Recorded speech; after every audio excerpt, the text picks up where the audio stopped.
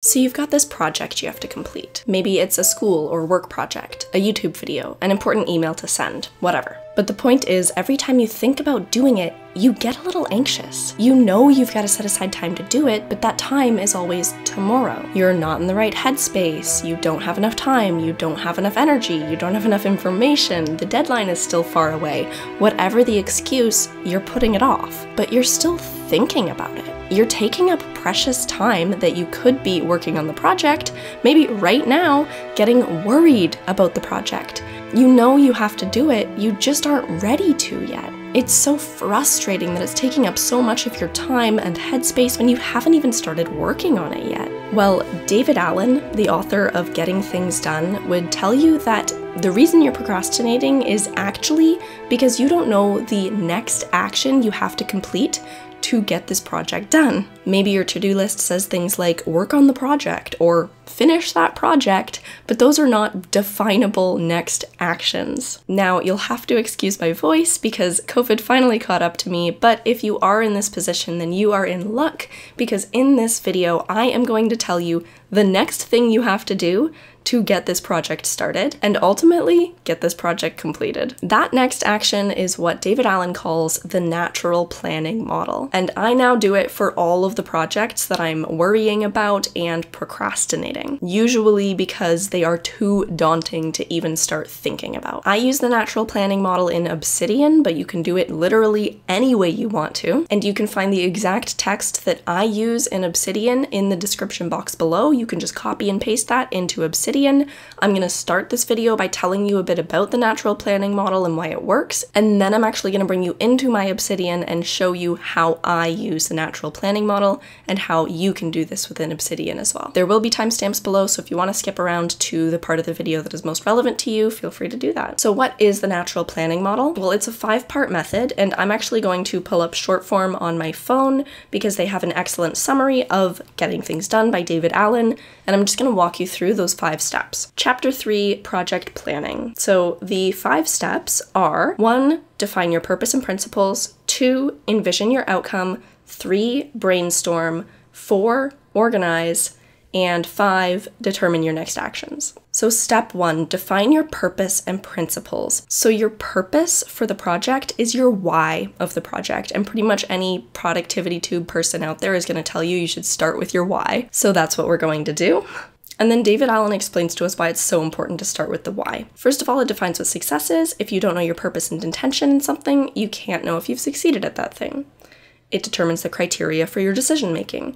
Knowing your why allows you to know whether something is necessary for achieving that purpose. It helps you align resources. It helps you get motivated. I think we all know that purpose is a good driver for motivation. It helps you clarify your focus, and by restricting your vision, it can actually help you expand your options. Because now that we actually have clarity on why we're doing something, our head can go wild thinking of creative solutions to that problem. If you give your brain a problem, your brain's gonna start working on that problem whether or not you realize it. So you're gonna start coming up with exciting solutions. The other thing the why does is it restricts, like it focuses, and restrictions breed creativity. And then we define our principles. So this is kind of a two part step. And the principles is the thing that I didn't know about actually prior to reading David Allen's book. This was a revelation for me, and it's so useful. So, your principles are like what you value. What are your standards for behavior? For instance, like how good does the product have to be? Does it actually not really matter? Like your standards are really low for this project for some reason? Like maybe it's just for school and you don't care, you can deal with a C? Or are your standards really high, like someone's paying you a bunch of money for this and it needs to have professional quality and the project needs to look similar or better than other projects of a similar type but by other people. So your standards for creation are really going to dictate how much time and energy and resources and what type of work should go into this project. And we'll get into some specifics later when I give you an example. Step two is to envision your outcome, and that's exactly what it sounds like. Start picturing what things are going to be like when this project is complete. Some projects I find quite easy. For instance, if I want to crochet a sweater and I'm just watching a YouTube tutorial, that person's already figured out how to get to that place, and I've seen their end product, so I already know what it's going to look like. So it's not so difficult for me to build the sweater and troubleshoot along the way because I know the end goal. Whereas with my dissertation, I don't know what the end product is going to look like, right? I can look at other people's dissertations, and I definitely do that so that I can try to envision what this thing will look like when it's complete. But ultimately, mine is going to be unique, and so it's much harder to get there, and it's taking me much longer to get there because I'm sort of figuring things out along the way. But if I imagine the outcome of my dissertation, both what it's going to look like and how I'm going to feel and how people are going to react, then that's going to make it easier for me to get there. The thing I actually found most useful about the envisioning the outcome is um, envisioning how I want people to react to it. That also makes me excited to do this project and it, it adds to my purpose. Step three is to brainstorm. So now that you know your how, your what, your why, you're just going to start brainstorming every single thing that comes into your head. Do not judge, do not criticize yourself, do not imagine how people would react to this, do not imagine whether it's feasible or not, do not restrict yourself in any way, just write down everything that comes to your mind or draw out or whatever, however you brainstorm best, it doesn't matter. You should aim for quantity over quality, and you should analyze and organize later. So, as you're brainstorming, don't be like, oh, actually, I would have to do that first. No, just keep going. Brainstorm everything that you need. Once you have this solid foundation of what you're doing and why you're doing it, brainstorm is just going to let creative ideas flow freely and naturally. And then on Shortform, they give you some ideas about how you can brainstorm. We've got mind mapping, patterning, clustering, fishboning, webbing. I don't even know what half of those things are. I just like free write in Obsidian, and I'll show you that a bit later. Fourth step now that you've got this word vomit on your page or whatever you have, it's time to organize that word vomit. Shortform says there's three steps. Determine the most important aspects that must happen in order for the project to be completed and successful, sort them into components, priorities, and sequences, fill in the necessary detail. And I find that this organizing is a little bit different for every project. Like, how am I organizing things? Am I organizing things chronologically, or do I actually have to do some organizing of like what the project is going to look like before I organize how I'm going to approach it? So it's going to depend on the project. And then, fifth step, and this is the most important one, is next actions. It says across the scope of the project, identify every next action that you or someone on your team can start moving on right now. So now you've got tons of ideas about your project, you have some clarity about what's going on, surely now you know what to do next. They also write that this stage brings issues and questions to the surface because you have to break things down to each minute action, and we'll get some practice doing that in a second. And then obviously, once you've got those actions clarified, you just start doing them. And they are going to be tiny actions, like things you really just can complete and say you've completed. So you won't have to become stressed or anxious about tackling this goal because it's broken down into little bits, little actionable bits. So now let's go into Obsidian and I'll show you how I have formatted my Obsidian for the natural planning model. And then I'll actually do that model for an upcoming YouTube video that I'm working on so you can see how I might complete it. So here we're in my main Obsidian vault and you'll see on the left hand side where I house my projects. So here's active projects, here's complete projects because I want to know which projects I'm currently working on um, and I don't want to lose the data from my past projects. I want to keep that somewhere, so I've just labeled a new folder with complete projects. And then down here, you'll see templates, and inside there we have a project file template. So that's the template that I'm using to complete the natural planning model. First things first though, let me tell you how to create templates. So if you go up to the top and click new folder, create something called templates or whatever you're gonna remember, and then you've got this folder called templates. Now we're gonna go down into the settings and we're going to scroll down and click templates. In here, you're going to decide which folder you want your templates to be pulled from. So mine is from templates. Once that's determined, it's gonna show up here on the left-hand side, insert template. Then when you wanna create a template, you're going to go to your folder, you can right click that folder and click new note. Now I'm gonna create a template for the natural planning model. So I'll call it, you know, projects. And then I'm going to write out my natural planning model template. I already have created that. It's called project file template. And here it is. I've got my purpose and principle, I've got my outcome visioning, I've got my idea dump, I've got my next actions, and the draft itself. Most of my projects are writing projects in some way, even if it's like a YouTube video, I still need to write the script. So you know, for the most part, my entire draft can just be within Obsidian, but maybe that's different for you if your main projects or drawing or whatever. And the text from my project file template is below in the description box. So if you like this way of doing things, you can just copy and paste that into your Obsidian or into whatever software you use to do your project planning. Uh, just remember that it's in Markdown, so it's going to appear like this in Obsidian, but it won't elsewhere. You'll get little asterisks and stuff, and you'll just have to ma actually make it italics instead of keeping the asterisks. I know I'm going through this super fast, but just slow down the video or pause if you need to. Now that we have a template, I'm going to go into Projects Active. This is my folder for all my active projects, and I'm going to start a new note for the project I'm going to work on. And I think what I want to work on is my next video about David Allen's book, which will just be on the Getting Things Done model. We'll call it Getting Things Done in Obsidian. That's what the video is going to be about. So now, instead of just typing things right away, I'm going to go over here to where Insert Template popped up, and I'm going to click Insert Template. And I want my project file template, so I'm going to click that, and there we go. It auto-fills this whole note with what I'm to be doing in the natural planning model. So let's get started with our purpose and principles. I wrote, you cannot know what a project should look like or how to create it if you don't understand why you're doing it. This includes both its purpose, why this project needs to be produced, and your principles, the standards and values you hold that impact how and what you produce. So I've just put a little descriptor there so that I remember what I'm doing every time I do it. I don't have to, again, get anxious or worried or rack my brain trying to remember how to do this model. It's already there, seamless. So what is my purpose in making my Getting Things Done in Obsidian video?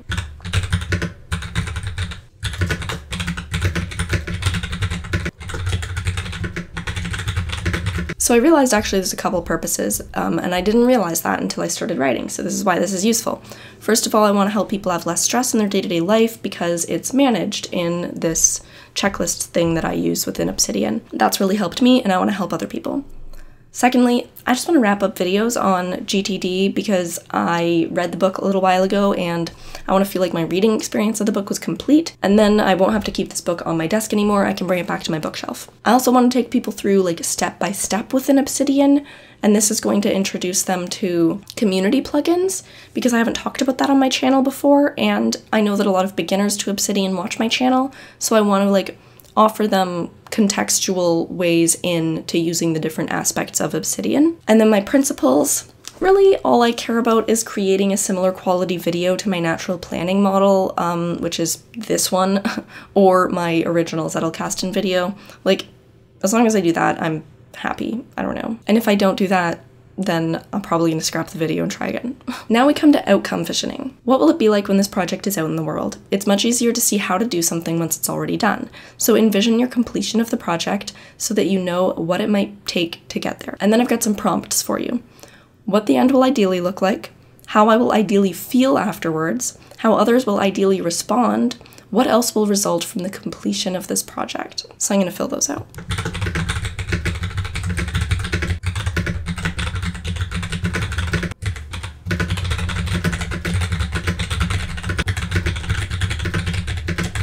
So I've written that the end will look like my previous video on the topic. I will feel surprisingly satisfied with the result. That's always like my best case scenario for a YouTube video is I finish and I'm like, dang, that's actually pretty good. um, how will others ideally respond? I want my like brother, who I really value his opinion, and my close friends to watch the video and then reach out to me and be like, wow, that getting things done model is really cool. Like, I think I'm gonna adopt it. That's really helpful because that tells me that I'm changing people's lives with my YouTube videos. And then also, hopefully that means that I'll get thousands of views on that video because it's well done and well explained and helpful for people. I love that. Um, what else might result? Um, YouTube ad revenue, that's always good. And me gaining even more clarity on how to use this model, because I think teaching something is the best way to learn about it. Idea dump. So this is your brainstorming. This is the no judgment zone. Write every idea that occurs to you down so that you don't have to hold any ideas in your head.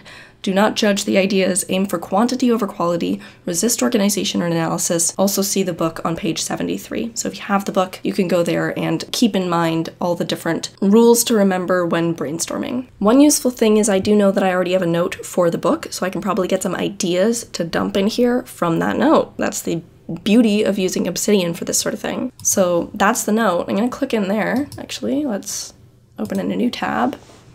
And look at that five step process to mastering our workflows. So I don't even need to go back into the book to remember what his getting things done model is. So I'm just gonna actually, this is from my Medium article on this topic, which you can go read. I'll leave a link below. And I think that's probably useful as well to include in my script. So let's just copy and paste that right in. I'm gonna do a little bit more brainstorming and I'll meet you back here in just a second.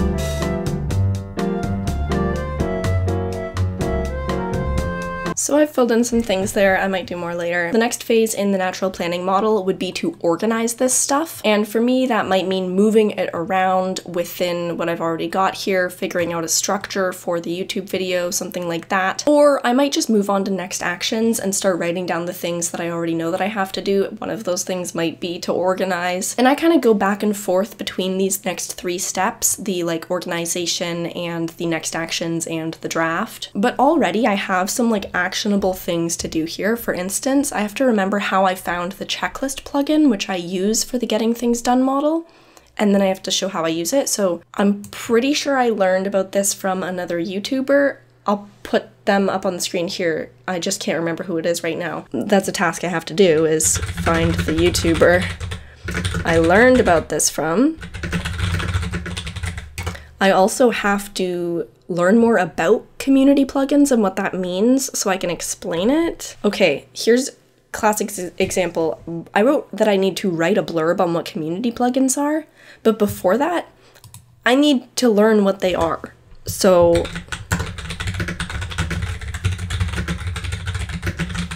There, I've added that action as well. The thing is, if I just put write blurb on what community plugins are, that's intimidating and anxiety inducing because I don't really understand what they are, okay? Like, I don't really know where they come from or how they get inside my obsidian. If I have to right now write a blurb on what they are, that's a difficult task for me. That's a scary task. I'm gonna procrastinate that task.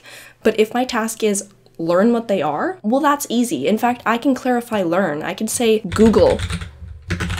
Google about what community plugins are. That I can do. All I have to do is type in Obsidian community plugins.